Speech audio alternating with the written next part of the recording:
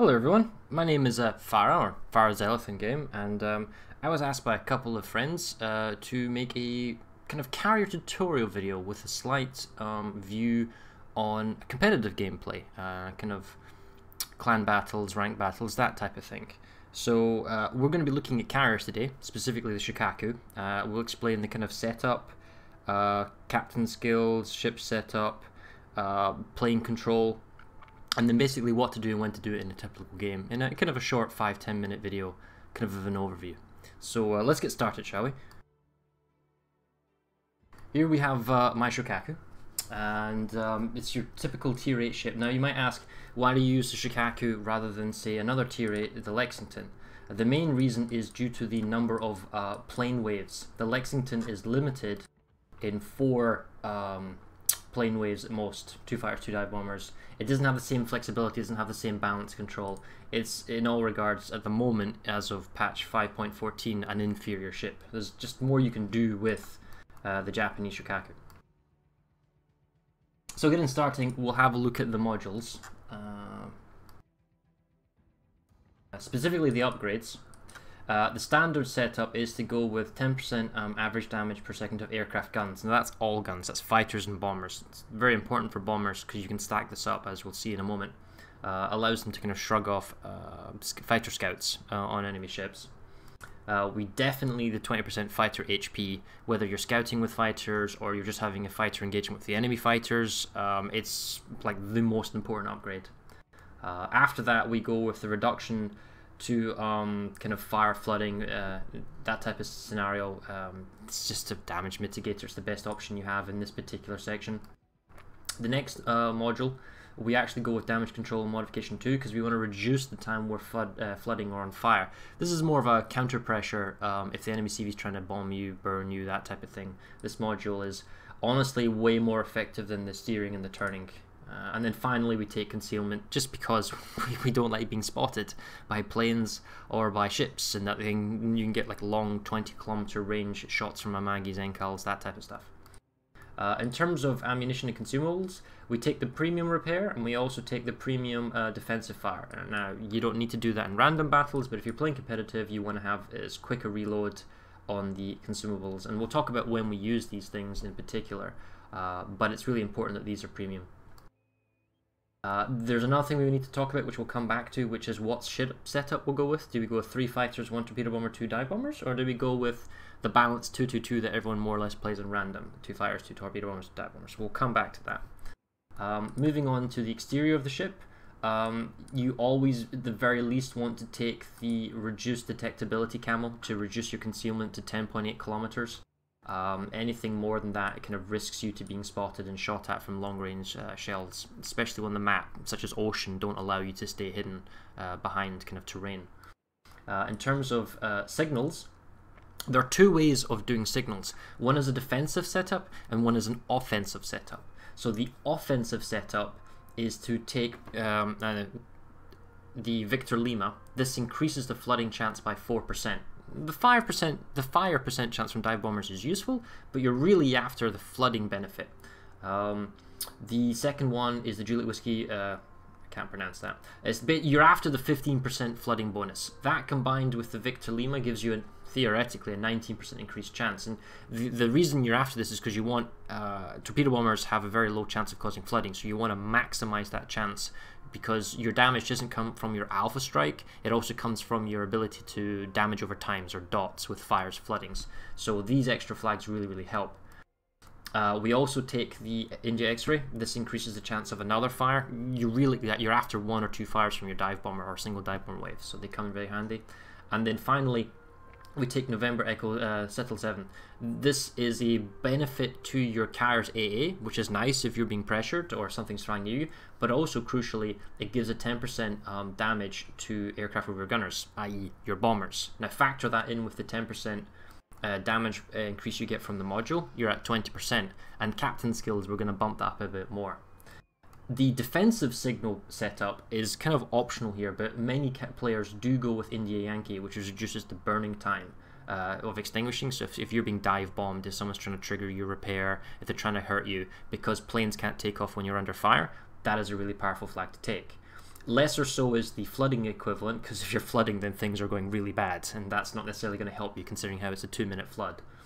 Uh, I do know that many carriers like to take Sierra Mike, give themselves the extra speed to maneuver around the map. Um, and then it's kind of a, a, mixture of what we've already covered. Uh, but for me, I always play carriers aggressive, definitely increasing my flooding and fire chance along with increasing the AA of my ship and the AA of uh, the uh, kind of fighter planes and, and all that, that stuff. Uh, so that's the signals and camos. Uh, in terms of captain skills, uh, I guess it'd be easier if I showed it on my Hakuryu. This is an 18 point captain, although you, at the moment with the captain skills you only need 17 points. The first, and we'll actually have a look at a 15 point captain here. Um, this is what I consider the bare minimum in terms of a captain setup. I definitely value basic fire training first as the first skill that you take from your captain.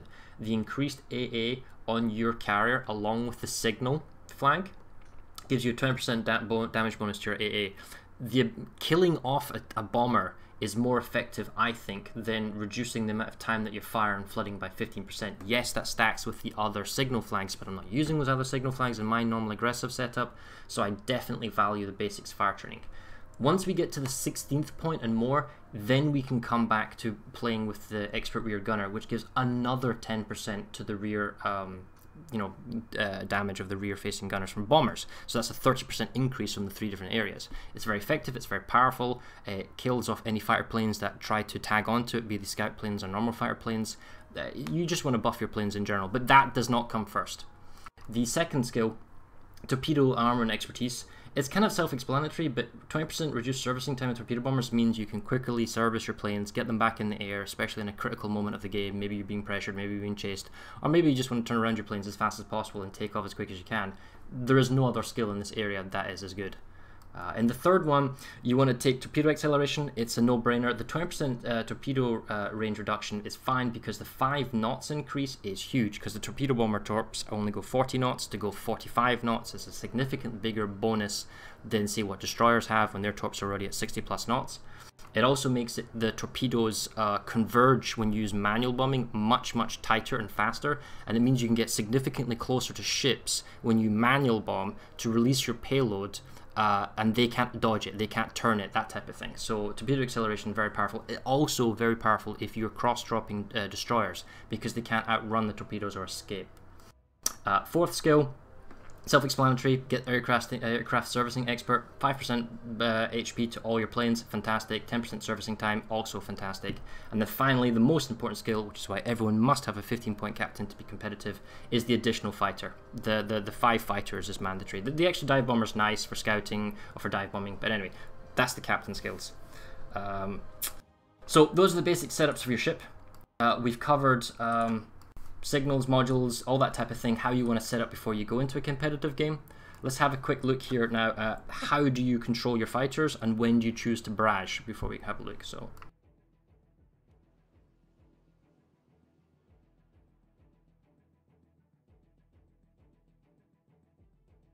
Here we go. So there are three setups here on this scenario. The first one on the far left as we're showing right now, this is uh, if you've got two fighters coming in at each other, right? And you might have you know two groups of fighters coming in. If you don't want to risk being barraged on a head-on attack, such as in this middle example right now, by coming head-on, the enemy ship theoretically, especially if he's an American fighter, can choose to barrage into you. Now, your five fighter Japanese wave, when it bumps into a Japanese five fighter wave, you'll lose one plane on a straight up head on attack. So you'll go down to 4. But crucially, you'll lose something like 35 to 36% of your ammo. It's a massive drain of ammunition. If you don't want to barrage into each other, because don't forget, once you barrage through, you'll go through below the fighter, and then you might be in the anti-air bubble of um, his friendly ships. That fighter then turns around and then tags you. So barraging is always a dangerous thing to do head on. Uh, typically what you want to do is come in from a side, from a side angle like this option number two here. But we'll come back to the second. On the left, uh, what I normally do in my games, if I have a fighter coming straight at me and he definitely wants to tag me, I don't want to barrage into him because I don't feel like it. Maybe I don't want to do it. So therefore, I'll take a right angle and then I'll double back in. It means that if he alt controls and wants to barrage, he has to keep manipulating and changing the angles. And I want to kind of manipulate the fighter, so it's very difficult for him to barrage me, and then I tag him. And you only tag if you're not inside. Um, how should I put this? If, if you're if you're not inside enemy anti-air, there are there are some circumstances where you have to fight enemy fighters, and that's up for you to decide when that happens. But if you have to spot, if you have to lock his fighter so he doesn't molest your bombers, there's lots of options. Or if you just want to generally fight his fighters and then bleed them down, that is an option. Uh, but typically, I don't go on a head-on barrage, uh, as we show here. Uh, because head-on barrages, you waste ammunition, you don't kill enough planes. The So we're going to be an example on the right. When your fighter comes in the front, and let's say he's got bombers incoming, if your battleship's under threat and you have absolutely no time, or any other ship that's under threat, and you have no time to stop them, you go on a head-on barrage. You might kill one or two fighters, assuming you have five fighters in your wave, because the number of fighters in the wave is the DPS that you have in that barrage. So you come with option number one. The second best option is to come at a side angle because it, it, increases the time that you are barraging the enemy planes that are in the kill area, and you'll kill maybe two or three. The best option, if you have enough time, however, is to actually fly behind, coming at them from behind, and then barraging them from the rear, and then you'll absolutely wreck them. Uh, and that's that goes for the same for any plane. Fighter planes, torpedo bombers, dive bombers, hitting them from behind in a full barrage will kill them. Uh, and you can even kill full waves when your fighter wave itself is not at full strength. Uh, important thing to note, fighters, Japanese ones specifically, have two full barrages and then they have one little clip of ammunition left, which is a couple of shots. So if you do the first barrage and you miss, it's not all over, you can still hold them back, but once you're down to two bars or, or less of ammunition, it's really time to thinking about how do I get my fighter back, rearm it, and get it out in the front line without letting my ships suffer. Uh, so anyway, that's a light kind of crash course on how to barrage and then when to fighter engage, or how not to get kind of ruined in yourself. Uh, let's have a quick look here and maybe in a typical scenario in a, kind of a rank to a clan battle. So right now, as we can see on the map, uh, it's a little bit messy, but this is a 9 versus 9 on the map Trident, okay? So the basic map has begun, and the ships are in the kind of a theoretical starting position. The North Green group has gone for Charlie, the South Red group has gone for Alpha, and they're fighting over Bravo. This yellow line signifies the sort of anti-air no-fly zone. The red guy won't go over into the green, and the green guy, carrier, won't necessarily go over to the red. There are a couple of options of what to do here we can see that the red carrier has gone 222 and the green carrier in his planes has gone 312. So there's a difference in having an extra fighter plane compared to a torpedo bomber. Well, what are the benefits? Well, if we were looking from the perspective of the green carrier, who's 312, the green carrier will typically take a, a, dive bomber as the first taking off plane, will drop the payload automatically because that increases the speed of the bombers. He'll spot over Bravo, see what the enemy's doing, and then maybe make sure that his friendly ships on their cap point are not spotted. After that, he may go actually go hunting down the carrier and find where the carrier is, see what's going on. When it comes to the center, the next thing the green carrier does is maybe launches all his fighters. At the same time, the red carriers maybe launches torpedo bombers, maybe launches fighters. But the fact is, with your fighters on the opposite line, the red guy, he can't contest. And even if it's 3-1-2, he doesn't want to contest because neither wants to fight over the enemy's anti-air bubble because they'll just lose the fighter duel. As a carrier, you only have three waves of fighters, you know, you can only reload three times, and then after that, it's very easy to lose them all. You've got no fighters, you have no control of the map. Because it's a organized clan or ranked battle, they can go 20 minutes. It's not like standard ranked mode or random battles where everyone just dies randomly. People, it can come down to stalemate since it's all about sight. So in this particular instance, the green carrier is just jostling for position. He does not want to allow the red carrier freedom to bomb, and the red carrier, because it's 3 versus 2, can't honestly use his fighters to create a protective envelope to allow his bombers to go in, because the green carrier can guarantee a kill on the two fighters and the third one can reinforce or the third one can intercept the bombers.